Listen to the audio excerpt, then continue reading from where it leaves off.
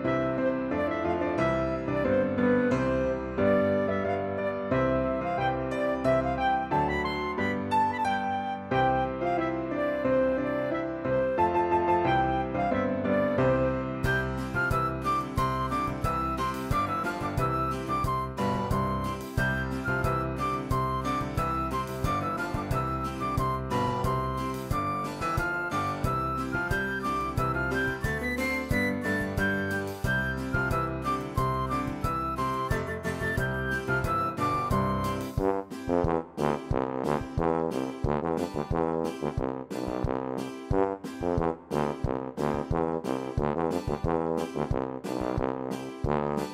you.